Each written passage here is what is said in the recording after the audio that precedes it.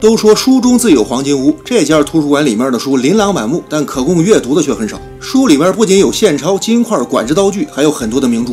You'll need a Jane Austen. A Charlotte Bronte. and a Virginia Woolf. Oh, and an Agatha Christie. 今儿跟大伙聊一部美国的动作片《火药奶昔》。身穿皮夹克、一脸凶相的男人坐在了女主的对面。女主的老妈杀了这个男人的老爸，他是来报仇的。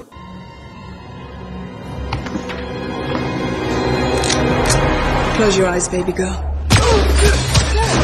女主的老妈是杀手公司的顶级杀手，十五年前为了给女主的老爸报仇，干掉了一名俄罗斯的杀手。为了躲避追杀，女主的老妈从此便人间蒸发了。女主则交由杀手公司抚养。十五年过去了，女主成为了杀手公司的一线杀手。在一次行动中，她一不留神把黑帮老大的儿子给误杀了。这是一家特殊的餐馆，凡进入餐馆者一律不准携带武器。杀手公司的人力资源部主管交给了女主一个急活：一个会计偷走了杀手公司合法生意中的钱。女主的任务是干掉这个会计，拿回公司的钱。看着儿子冰冷的尸体，黑帮老大把手下全撒了出去，发誓就算掘地三尺也要把凶手给抓住。为了躲避警方的追查，女主来到一家特殊的图书馆，准备换几把干净的武器。图书馆里有三位工作人员，他们分别是漂亮婶、酱油婶和杨阿姨。这三位老江湖都是女主老妈亲密的战友。他们上次见到女主的时候，女主还没有洗衣机高呢，如今这个头都超过电冰箱了。这个图书馆其实就是一个军火库，所有能想到的武器这里全都有。女主来到酒店，悄悄地摸进了会计的房间，床上有一个提包，里面正是会计偷走杀手公司的钱。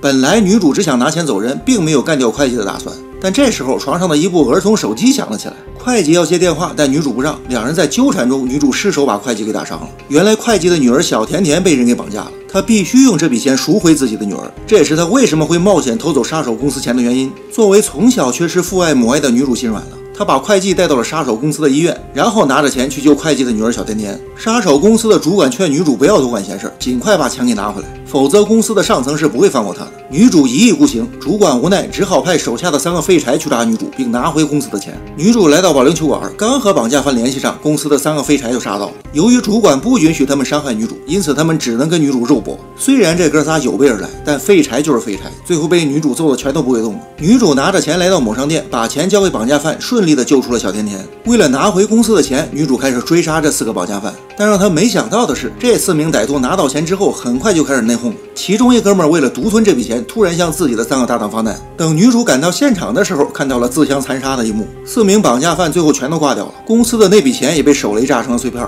女主带着小甜甜来到杀手医院，发现会计因为伤势过重已经挂掉了，而那三个废柴也正在医院里接受治疗呢。他们已经接到了主管的下一步指示，可以使用一切手段干掉女主。为了把女主拿下，医生突然袭击，在女主的胳膊上注射了两针麻醉剂，女主的手臂瞬间就不听使唤了。在小甜甜的帮助下，女主把手枪和手术刀绑在了自己的手上，而那三个废柴此时也已经杀到了门口。接下来就到了女主秀才艺的时间了。女主利用甩手疗法，很快就把这三个废柴的妄想症给治愈了。主管明确告诉女主，由于她误杀了黑帮老大的儿子，现在已经成了公司的负资产了，必须要被清除掉。女主也发现了狠话，说自己要血洗杀手公司董事会。为了避免和黑帮老大开战，主管把女主的位置告诉了黑帮老大。女主带着小甜甜来到地下车库，本来她想把小甜甜送回家，可这个小甜甜除了她老爸，在这个世界上再也没有任何的亲戚了。由于胳膊被麻醉了，女主只好临时教小甜甜开车。小甜甜冰雪聪明，很快就通过了科目二和科目三的考核。黑帮成员根据主管提供的信息，很快就杀了过来。紧接着，双方在车库里展开了追杀。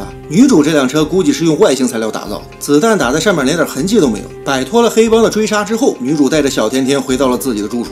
这时候，他那位失踪了十五年的老妈突然出现了。原来，女主的老妈当年为了给老公报仇，干掉的那个俄罗斯杀手也是杀手公司的成员。为了躲避杀手公司的追杀，她才不得已玩起了失踪。现如今，女儿遇到了大麻烦，当妈的自然不能坐视不管。娘俩正聊着的时候，小甜甜通过监控看到黑帮的人已经兵临城下了。三个人来到洗衣房，顺着洗衣机里的秘密通道逃了出去。这么隐蔽的通道，居然很快就被黑帮成员给发现了。看来反派们的智商也是在不断的提高啊！面对大批黑帮成员的追杀，女主三人不得已来到了图书馆求助。对于女主老妈当年的不辞而别，三位大婶都非常的生气，尤其是暴脾气的酱油婶，把枪都端起来了。不过毕竟是几十年的好友，再多的误会，相互不疼不痒的骂几句也就没事儿。而这个时候，方向感极强的黑帮成员也杀到了图书馆的门口。随后，五名成年女性带着一个未成年的女孩，和黑帮的几十位心狠手辣的大老爷们展开了恶战。女主的老妈如双枪老太婆灵魂附体，三位大婶宝刀不老，打起架来也是毫不手软。酱油婶的羊角锤耍的是虎虎生风，杨阿姨的大铁链子虎的是风雨不透，尤其是漂亮婶的加特林，一开火，整个图书馆都为之肝颤。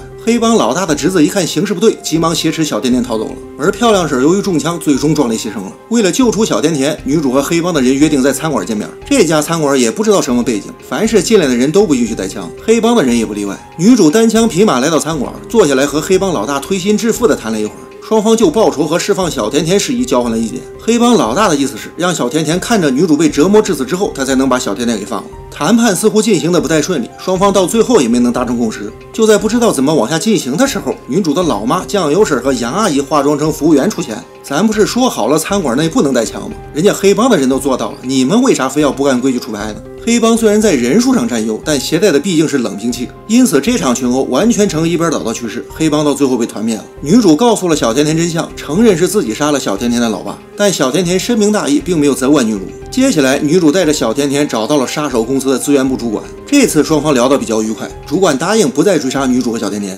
看完这整部影片，我们还是来首唐诗压压惊吧。女人千万不能惹，不然就是在玩火。有理也得先认错，理亏马上就赶快躲。